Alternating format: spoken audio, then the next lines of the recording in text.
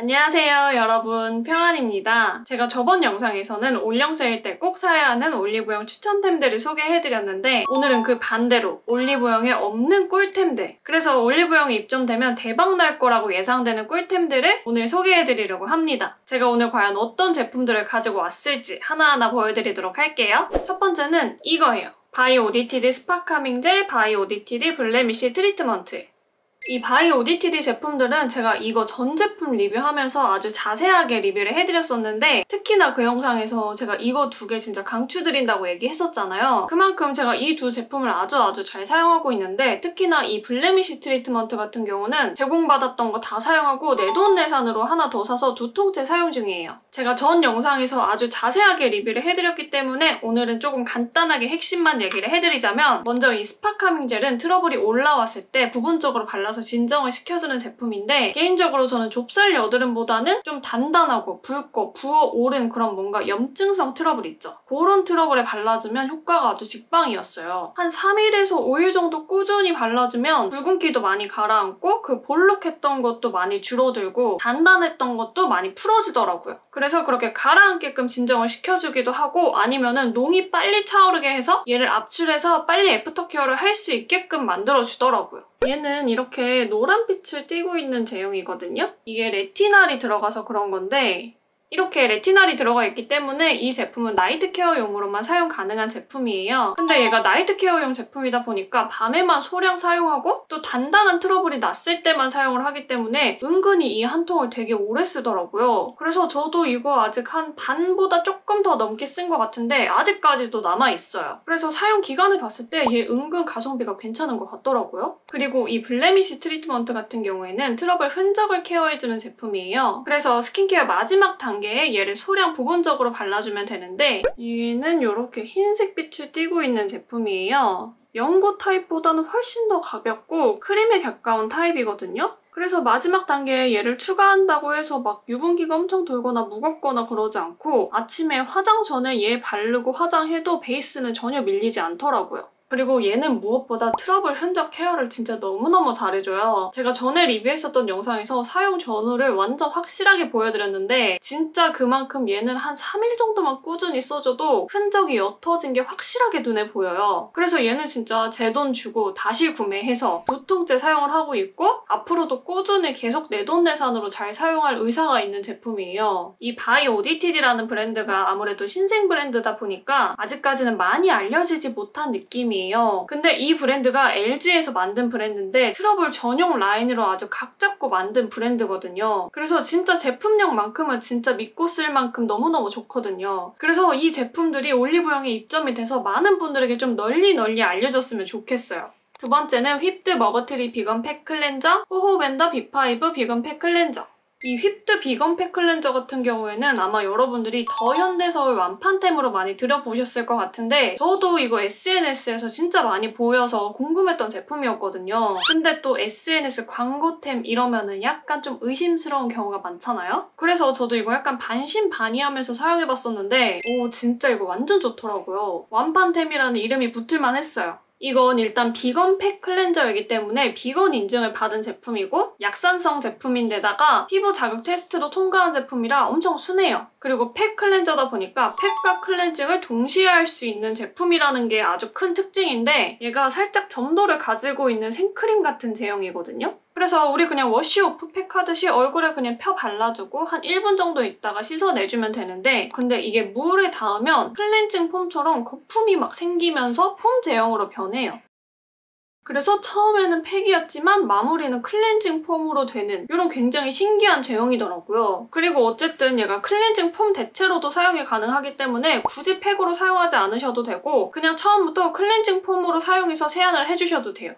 근데 또 이게 단순히 클렌징 폼의 세정력이 아니고 웬만한 클렌징 오일, 클렌징 밤, 클렌징 크림 저리 가라 할 정도의 세정력을 가지고 있어요. 네, 우리 메이크업 지울 때뭐 클렌징 오일, 클렌징 밤, 클렌징 워터, 클렌징 크림 이런 걸로 1차 세안 해주고 또 그 오일감을 닦아내기 위해서 클렌징 폼으로 한 번 더 세안을 해서 총 2차 세안을 하잖아요. 근데 얘를 쓰면은 얘 한 번으로 그냥 메이크업 클렌징까지 아주 깔끔하게 싹 빼가지고 2차 세안할 필요 없이 그냥 얘 하나만 사용해줘서 세안을 해주면 끝나요. 대신에 워터프루프 마스카라나 착색이 심한 틴트류 같은 경우에는 얘가 완벽하게 지워내주지는 못해요. 그래서 이런 부분들은 lip and eye 리무버로 따로 클렌징을 먼저 해주시고 그 다음에 비건 팩 클렌저로 그냥 깔끔하게 세안 한번 해주면은 메이크업이 아주 싹 지워져 있어요. 그래서 나는 메이크업 클렌징 할 때 2차 세안해주는 게 너무 귀찮다. 아니면 나는 피부가 민감해서 2차 세안을 하면은 피부가 좀 금방 따가워지고 예민해지고 민감해진다. 이런 분들한테 진짜 이거 한번 꼭 써보세요라고 추천을 해드리고 싶더라고요. 저는 이 머그트리랑 호호밴더 두 가지를 사용해봤는데 머그트리 같은 경우에는 티트리, 쑥, 병풀이 메인 성분이라 피부 진정에 좋은 제품 호호밴더 같은 경우에는 호호바 오일, 라벤더, 판테놀이 메인 성분이기 때문에 민감성 피부에 피부 수분 장벽에 좋은 제품이에요. 또 휩드 비건 팩클렌저 같은 경우에는 나이아신 아마이드 성분이 공통적으로 다 들어가 있어서 피부 톤업이라든지 피지 조절에 도움이 된다고 합니다.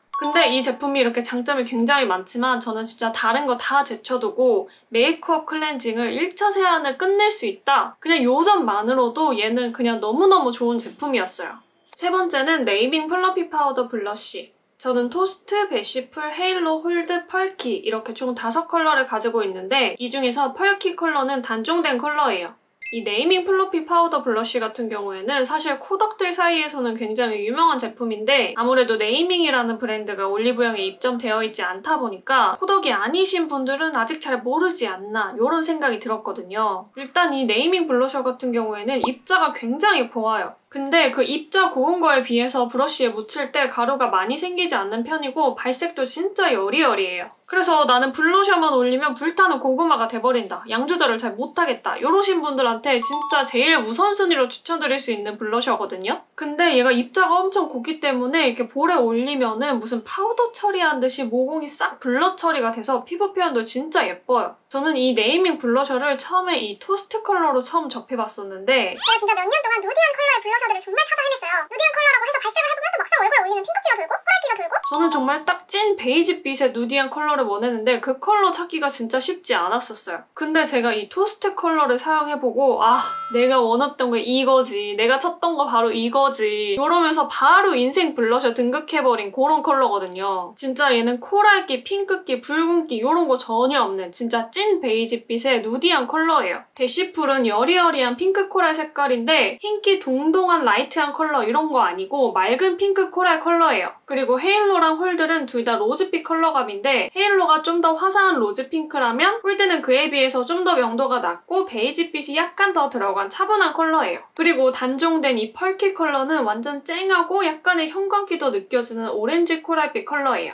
근데 또 이 중에서 저는 이 베시풀 컬러에 제일 손이 많이 갔거든요? 진짜 여리여리하고 맑은 핑크 코랄 색감이어가지고 어떤 메이크업을 하든 정말 다 잘 어울리고 다른 블러셔들이랑 색감을 섞기에도 굉장히 좋아요. 아니면 나는 오늘 블러셔 세게 하고 싶지 않고 좀 여리여리하게 피부 혈색만 살려주고 싶어. 이럴 때 사용하기에도 굉장히 좋은 컬러거든요. 그래서 저는 이 블러셔 중에 색깔을 추천해달라고 한다면 먼저 이 토스트 그리고 이 베시풀 컬러 이 두 가지는 진짜 정말 정말 추천드려요. 마지막 네 번째는 에뛰드 진저 슈가 오버나이트 립 마스크.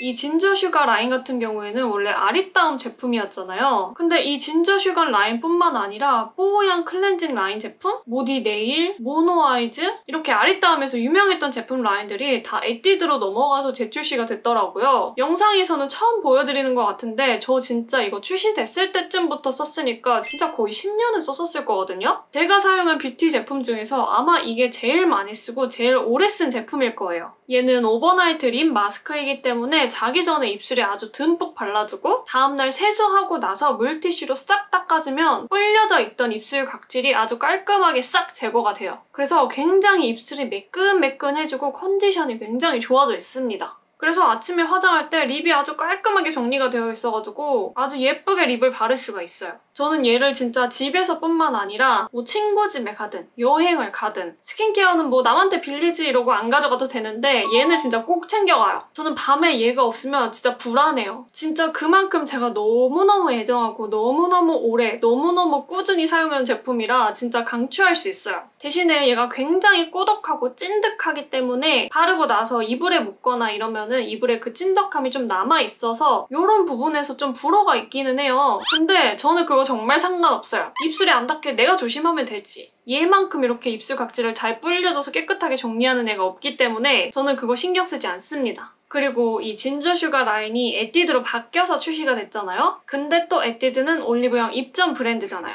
에뛰드에서 요거를 이제 올리브영 입점템으로 이제 추가를 시켜줘가지고 올리브영에서 판매를 해주시면 어떨까? 그러면은 얘가 올리브영 립밤 부문 1위를 하지 않을까 싶어가지고 제가 오늘 이렇게 가지고 왔습니다. 오늘 이렇게 올리브영에 입점되어 있지 않은 꿀템들 그래서 올리브영에 입점하게 되면 아주 대박 날 것 같은 제품들을 여러분들한테 소개를 해드렸는데 이게 또 언젠가 올리브영에 입점될 수도 있는 그런 제품들이니까 여러분들 미리미리 한번 써보세요. 요거 제품들 진짜 너무너무 좋아요. 그러면 이렇게 오늘 영상도 끝까지 봐주셔서 너무너무 감사드리고 저는 다음 영상으로 찾아오도록 하겠습니다. 그럼 여러분 모두 모두 평안한 밤 되세요.